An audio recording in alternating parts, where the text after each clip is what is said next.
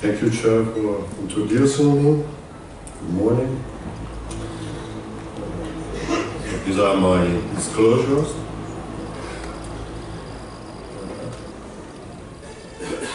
Ventilator waveforms interpretation was originally described in the 90s, and 10 years later, it was suggested that this should be a skill that every intensivist should possess. Uh, in, in the era of mechanical ventilators, uh, able to um, show real-time waveforms on the screen. On waveforms, the very beginning of the patient effort can be detected as a sudden drop in airway pressure, or even better, as a sudden positive deflection of flow. On the other hand, a passive, exponentially decaying flow suggests passive condition. So we can assume that the start of exponential decay in flow uh, marks the end of a patient effort. And using this, we, we can use this information to check whether the cycling off uh, is at the right time, too early, or delayed. Adopting a systematic method based on uh, these rules and few others, uh, after some training, it's possible to detect reliably but major and minor asynchronies at the bedside. And because asynchronies uh, have different underlying mechanisms and may have different impact on outcome, it's quite important to phenotype our patients in, according to their interaction with the ventilator. In order to identify patients at, risk and guide treatments. For instance, early cycling is associated with eccentric contraction of the diaphragm. This may be injurious for the, for the muscle and may promote double triggering as well, as Elias and Jeremy uh, have uh, already shown. So this sort of breath stacking may be, of course, injurious for, for the end. So if we detect on waveforms early cycling, we can try to improve the picture, for instance, changing the cycling criterion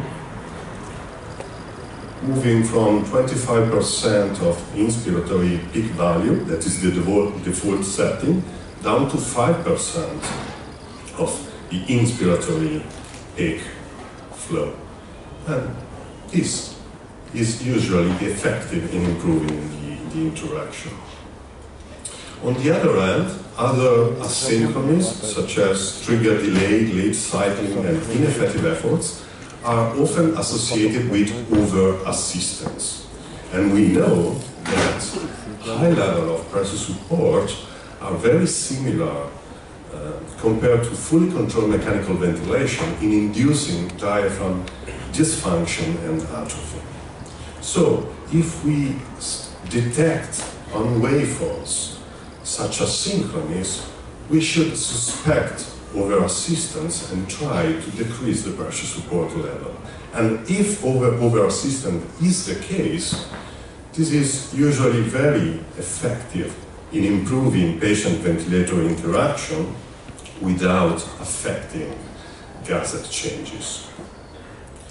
Interestingly enough, in this study, shortening the mechanical inspiratory time was as well effective in improving patient-ventilator interaction, probably because late cycling, a delayed opening of the expiratory valve is so common during pressure support ventilation. And actually, in um, difficult to wean patients under prolonged pressure support ventilation, we observe a delayed opening of the expiratory valve in more than 50% of the breath. This is a well-known problem of pressure support ventilation that is magnified by high pressure support levels. That means that the higher the pressure support, the uh, longer the delay, and the longer the time the ventilator may be insufflating during neural expiration, uh, especially in obstructive patients. This may lead to uh, dynamic hyperinflation and auto PEEP, finally leading to difficult trigger and ineffective efforts. So, if we have already optimized the pressure support level and late cycling is still present on waveforms, we can try to uh, adjust the expiratory trigger sensitivity, changing the cycling criteria, in order to superimpose the ventilator cycling flow with the patient and the inspiratory flow. Or, as an alternative, we can ask the ventilator to do this by itself, because now a waveform-guided uh, automa automated cycling is available in mechanical ventilator. And if you switch on this function, the ventilator will open the expiratory valve as soon as this sudden change from fast to slow exponential decay of, of inspiratory flow is detected. That means that our patient is already relaxed and once that exploration begins. Uh, this function seems to be uh, effective also in restricted patients suffer, suffering from early cycling, uh, such as in, in this case. So we performed a, a pilot randomized crossover study to compare the default setting of uh, expiratory trigger with the expert setting and this automation, uh, testing two le different level of pressure support, the baseline and, and the 50% increase.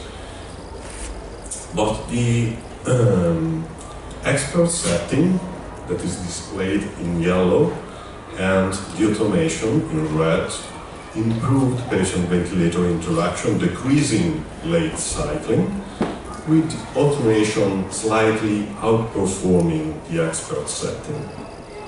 These flow tracing are, were recorded from one of the patients enrolled in, in the study. From top to bottom, you see the default setting, the expert setting, and the waveform guided mode. And the expert detected on waveforms ineffective efforts, late cycling, trigger delay, so he decided to um, increase the sensitivity of the, of the expiratory trigger, moving from 25 up to 40% of peak uh, inspiratory flow. And this was effective in improving interaction. Anyway, phys the physician can select just a single value for the expiratory trigger sensitivity whereas the automation may adapt the cycling off to patient needs to, uh, on, on, a breath-by-breath basis. And this is probably important, uh, especially if we consider that patient ventilator interaction may vary over time in a single patient, and even very brief clusters of asynchronies were found to be associated to, with, with poor outcome. Collateral effect of a better cycling off in our patient was a decrease of what I call uh, volume of over assistance. So we observe Uh, a, a lower tidal volume at both pressure support levels and an easier trigger for, for our patient. Anyway, the number of ineffective efforts was still too high, especially in the case of the hyper support level. So could, could we profit from waveforms to further improve synchronization? In the end, the, the leading cause of difficult trigger is dynamic hyperinflation. In this case, the patient effort starts when the expiratory flow is still ongoing. So we can detect, looking at waveforms, this problem, but for sure we cannot set a negative value of expiratory flow uh, as a threshold for our inspiratory trigger. So, to further improve synchronization, we have to move from thresholds to waveforms. In other words, we have to ask the ventilator to open the inspiratory valve as soon as this positive deflection of flow is uh, detected. This is a simulated COPD patient with very prolonged late cycling and some ineffective efforts. You see that when we switch on this automation, the pressure support is now delivered by the ventilator at the very beginning of the patient effort, even if flow is still negative. And when we increase pressure support, it seems that patient-ventilator interaction is now uh, independent from the pressure support level. Again, this is quite important because this means that very weak patients with high pressure support requirements can be properly assisted with pressure support ventilation. Uh, nowadays, there are different, several technical solutions available on different mechanical ventilators. We bench tested these uh, ventilators, and in almost all cases, there was a clear advantage, a clear, a clear decrease of asynchronies uh, with this uh, automation turn on, uh, especially for late cycling and for ineffective efforts. A clinical trial on waveform guided pressure support ventilation, ventilation is ongoing and I, I, can show you some example. This is a COPD patient with trigger delay, ineffective efforts and clear late cycling. And you, you see that when we switch on the waveform guided pressure support delivery, uh, all these uh, uh, immediately and completely disappear. There is a very good uh, interaction between the patient and, and the ventilator. And when we switch off, we switch back to standard uh, trigger system, all the asynchronies are uh, also back. And uh, in this restricted patient, recovering from severe ARDS, moving from uh, pressure on the left to flow to waveform guided triggering, we observe a progressive decrease of trigger delay and work of breathing. So to conclude, bedside interpretation of standard ventilator waveforms provides reliable assessment of patient-ventilator interaction and may help physician setting manually the, the ventilator.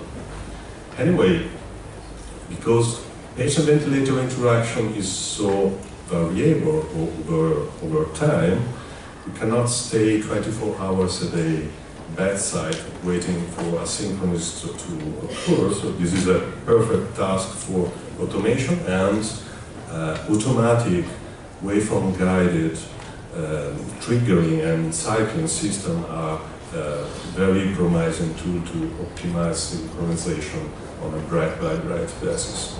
Thank you for your attention.